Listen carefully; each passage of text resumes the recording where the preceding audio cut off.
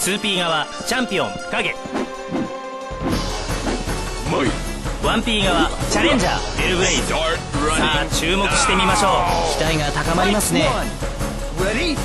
第1ラウンドが始まりました。劉備戦風船陣。風神撃当て受け身を取った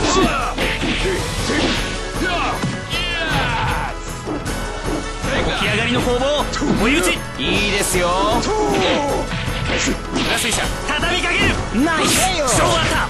セットカウントは1対0影先に1本取られてしまったがまだまだこれからチャンピオンが追い込まれてますね。うーんまだ分かりませんよ。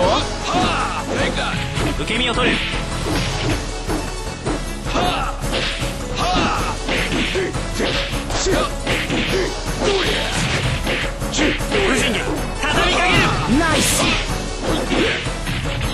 ダウン攻撃。ここで追いついた。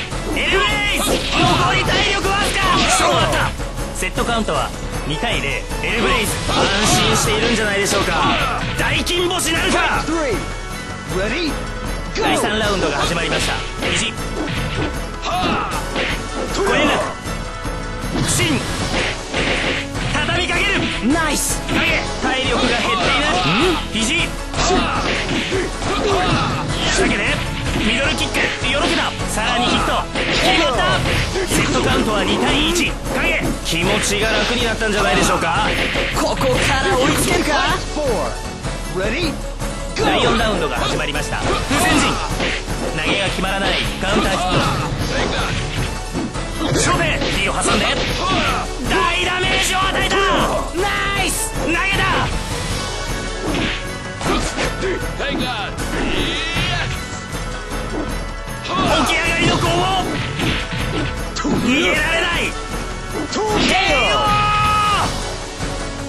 リプレイを見てみましょう。エルブレイズ危なげなく勝利ウェペン